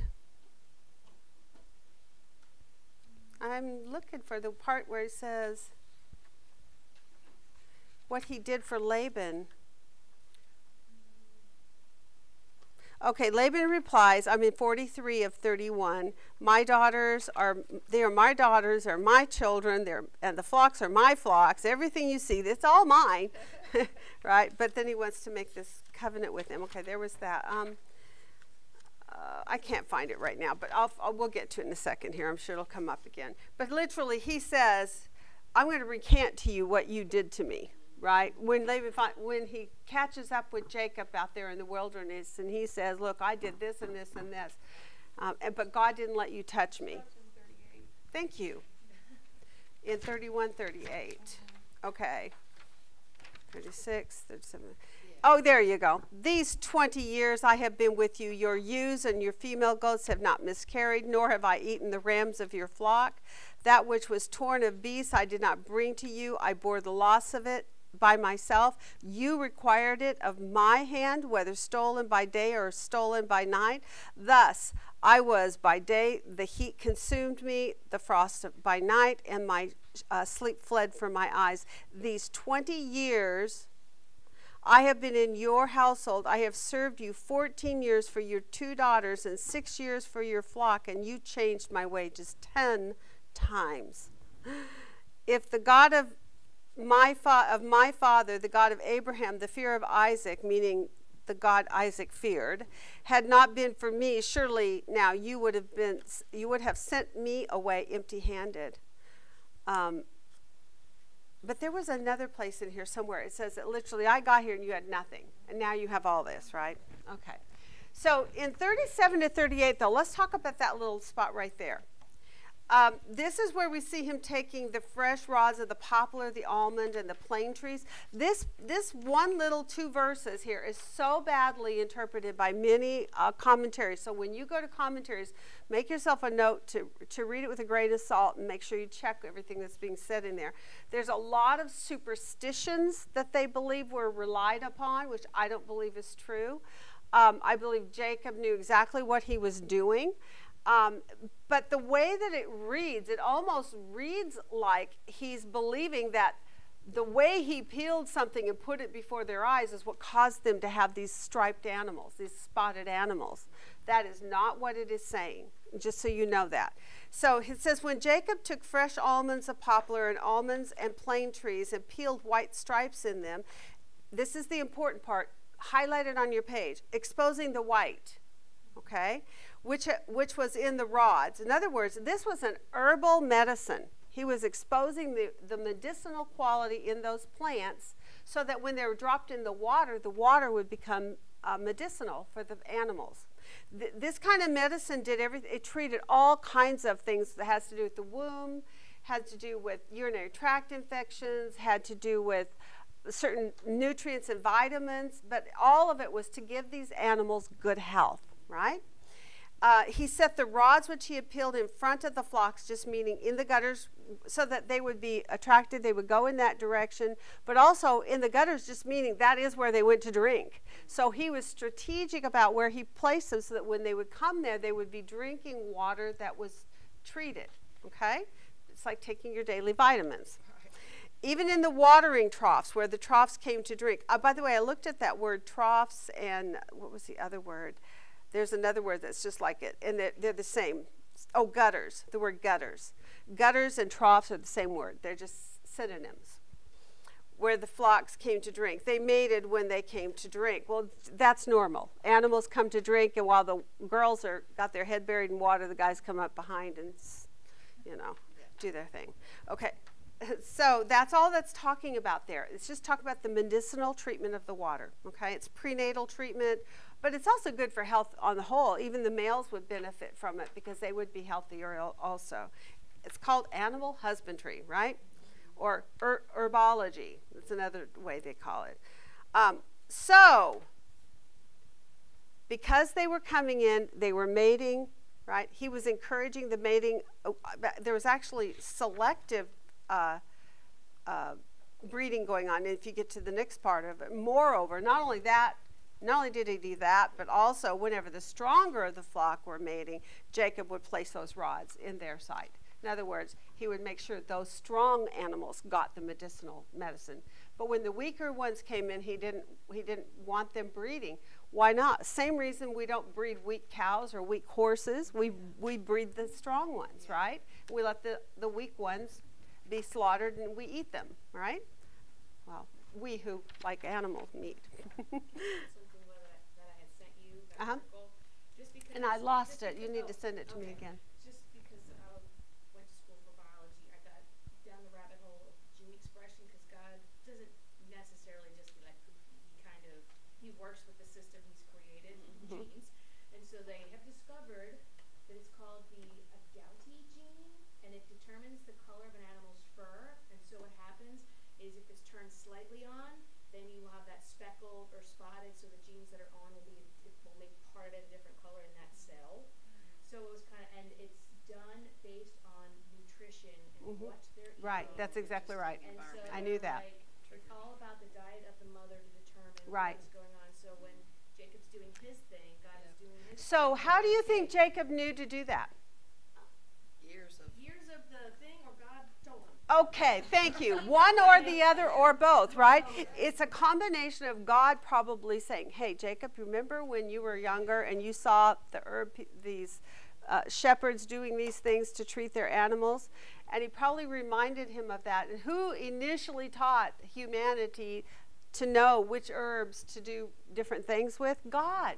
God started with Adam and Eve in the garden, teaching them these things, and all through humanity, God has has many. If you think about how many dreams we've even looked at here, just pertaining to the the lineage part of life, but how many times has God probably brought a dream to somebody in the night and explained in their dream how certain things needed to be done in order to make it either safer or healthier or stronger, or maybe even in the early parts of of humanity, where God literally was walking with man still, he literally told them, You need this herb and this herb and this herb, and these are good for you, right? I mean, so God instructs us and experience te- teaches us. So this is what Jacob was doing. None of this was hocus pocus, none of this was superstition.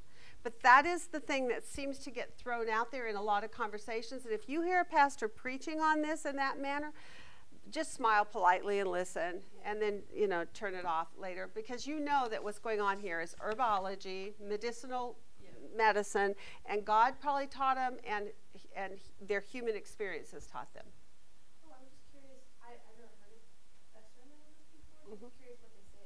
Like, well they, they're talking about the the the stripes that were literally cut in it, put in front of the animals, will cause them to have these striped babies. Does that even make sense? Yeah, they kind of almost call it magic. Like magic, You know, like like, like he was he was doing divination or that's kinds of things. But they won't say that. They'll just say that it was a that it was the stripes that that caused the animal to be striped. No, he was exposing the bark to to medicinally treat the water. And once you hear that, you go, oh well, of course that makes sense, right? So what I thought in the dream, the angel of the Lord says, comes to Jacob in a dream, and Jacob says, "Here I am." Then God said, I think verse twelve, He said, I think this is the angel of the Lord saying, "Lift up now your eyes and see that all the male goats that are mating are striped, speckled, and mottled." Yeah.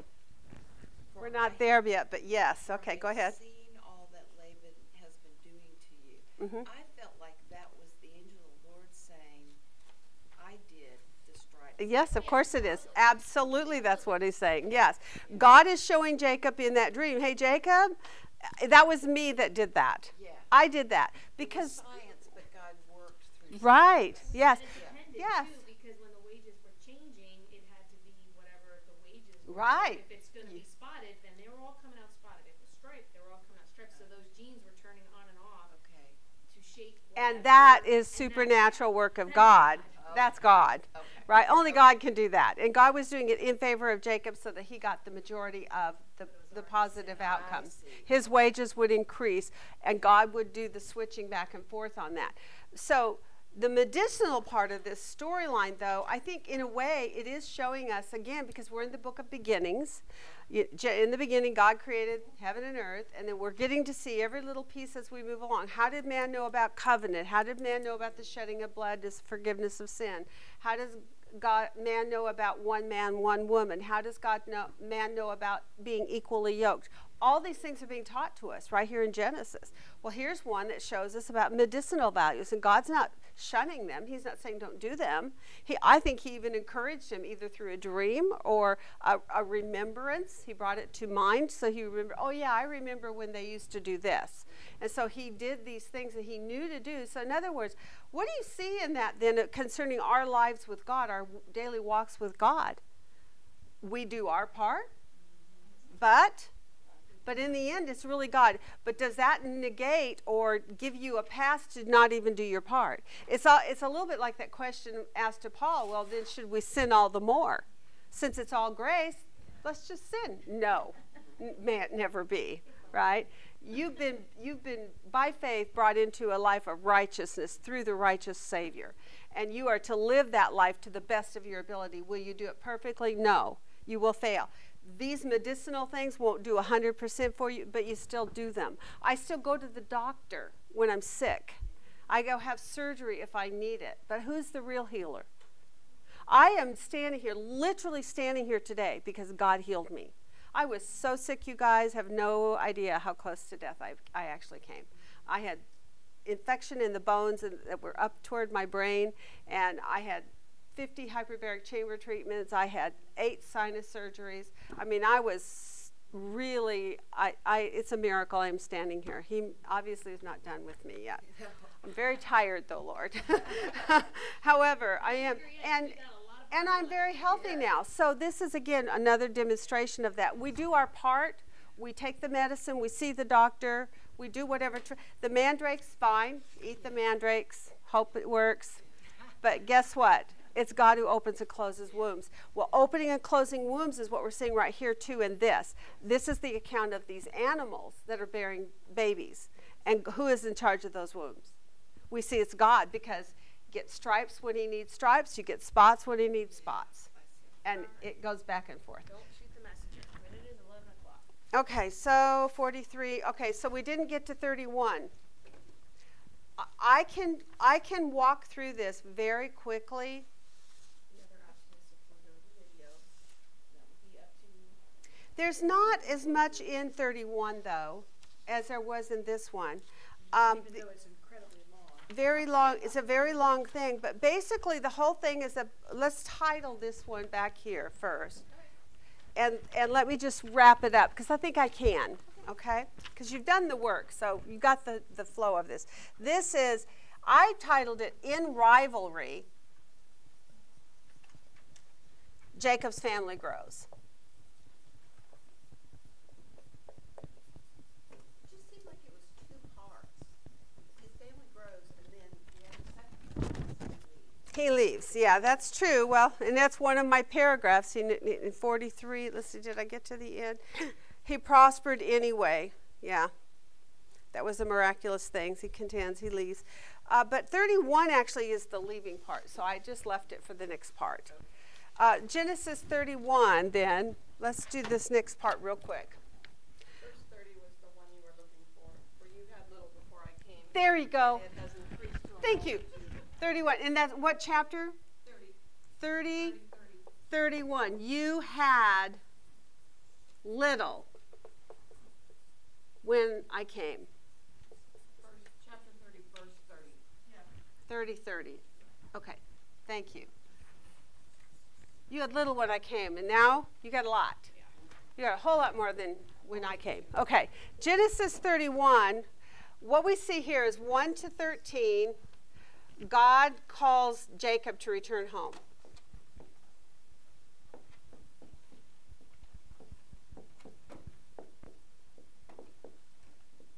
This is when my um, big titles are going to come in handy.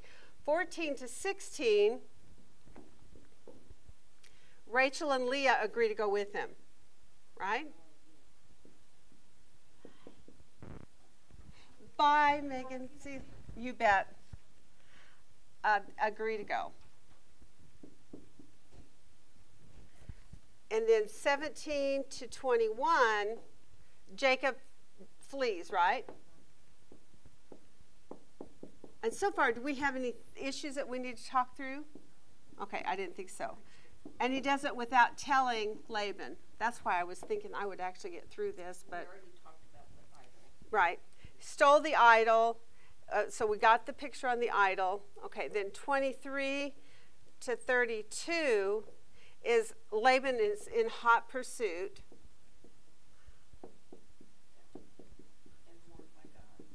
Yeah, that's part of the subpoints on this. He partly he hotly pur- pursues Jacob,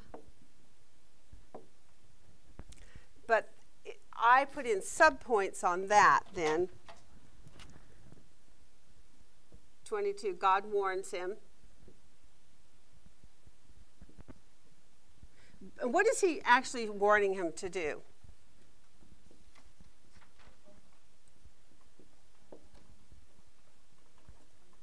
Be careful that you do not speak to Jacob either good or bad.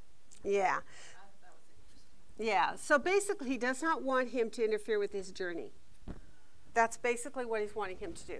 Basically, don't tell him you have to stay or, or even you have to give me back my wife, my daughters, you have to give me back. Don't negotiate with him. You just simply don't interfere with his journey. He's on his way home. And he needs to take with him all the things that he has because he does need to have something to start with when he goes, right? So Laban hotly pursues Jacob there in, in those. God warns him. On, and this is the part I thought was funny is in 25 to 32 where uh, Laban acts like he was so wronged, right? Yeah. He didn't get to say goodbye. I and I put, like- wah, right? or ha, one or the other. Um, but La- Laban had hotly pursued. Now, I looked that word up. It means to persecute, inflamed, to hunt down with intent of capture or oppression. So that was his attitude before the visit from God in a dream. But now what? And starting after that.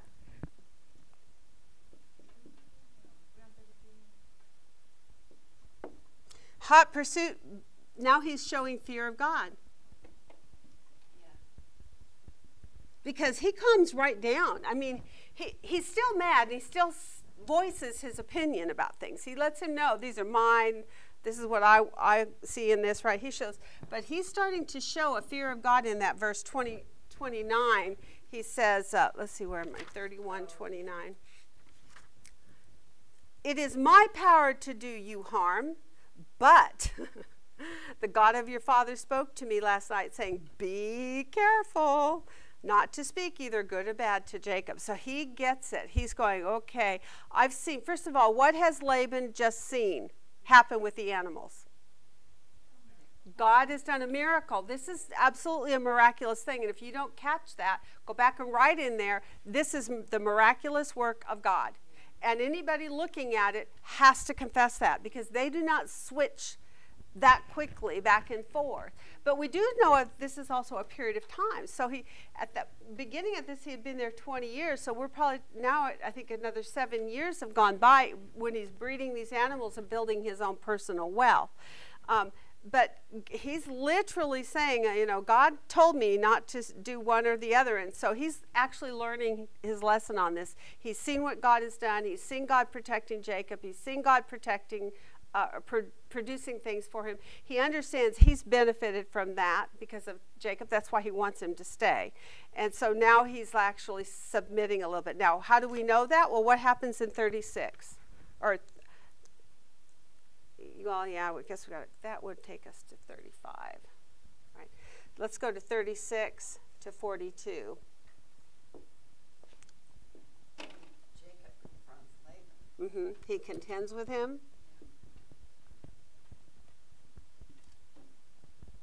You could say wrestles with Laban. yeah.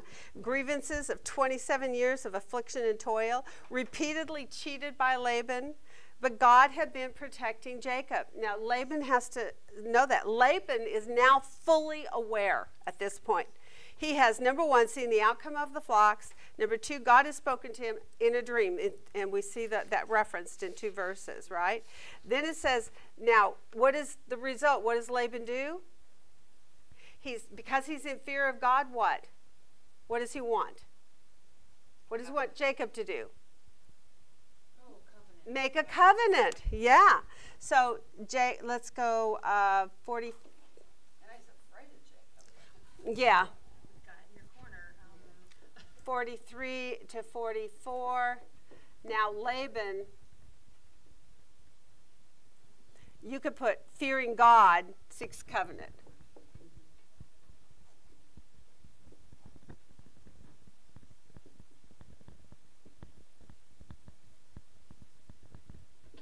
Okay? Because that's the motivator here. He wouldn't have come to this on his own. Now we've got 45 to 55. That takes us to the end.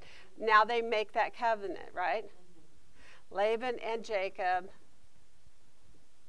make a covenant or made covenant.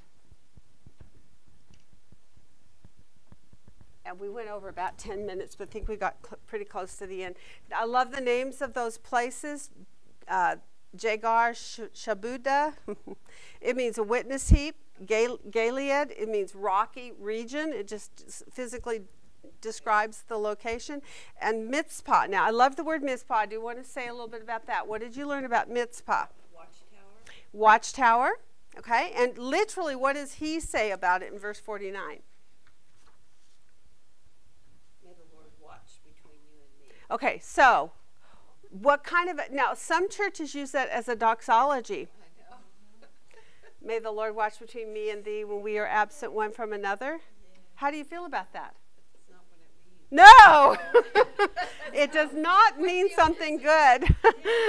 If you break it, God's gonna smite you. yes it's basically it is a covenant that was made between two men uh, that is going to hold both men accountable for the way that they treat one another or don't treat one another, right? So Laban has made this covenant. Now, I just made myself a little short note. It's on your chart that you're going to get. But here, let me just read this real quick. Covenant practices, making vows, right, before God and men as well. Men have to be witnesses. Setting up signs as a witness. We see them doing that here. And these are for reminders, so that when they see the heap, it's a reminder, right? Shedding the blood of an animal. How do you think they ate that meal together? They had to kill an animal, the shedding of blood. That's part of covenant making. All common practices. It is God who watches over covenants, right? We all understand that, right? Why? Because these are promises sealed by bloodshed, and they are by nature God's. Who who instituted that whole concept of making a promise in Genesis 3? This is what I'm going to do for you. This is what I'm going to do to you, Satan. This is what I'm going to do, you Eve. This is what I'm going to do for you, Adam. But ultimately, it's the seed that's the big, the big one. And God sealed it by doing what? Shedding a blood and covering them, which is symbolic picture of who's covering. Who's our covering? Jesus. Whose blood? Jesus. So the whole thing, covenants belong to God, and He watches over them. If you break a covenant, God is watching. And so promises are sealed by bloodshed, they are God's by nature. He will judge if a vow is broken.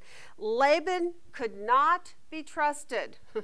right? Although he's the one that initiates, he's not trusting Jacob because I think you're right about the statue thing. Now that I know about the uh, the idols, that the idea that Jacob might try to go back and and secure Laban's things for himself, he doesn't need them, but Laban thinks he does, right? But Laban's going to very soon find out his money's going to dwindle on that side of the heap. On this side of the heap, Jacob is going to continue to abound, right? But Laban is going to struggle because I doubt that he knows how to really take care of himself there. Um, it says, um, but these covenants between men and nations were often used to ensure peace where distrust existed. I just want you to know that. Covenants between man and man, nations and nations, are usually based on distrust. Okay? And therefore, it's a way of securing that both parties will do what they say. And it used to be both parties had fear of God. But sadly, today we make treaties that probably are I worthless. thought it was interesting that the, his, his kinsmen were included in the meal. Yes, yes, that those are your witnesses, right? Those are the witnesses of the covenant, and they eat of it also. But also the sons can't cross over.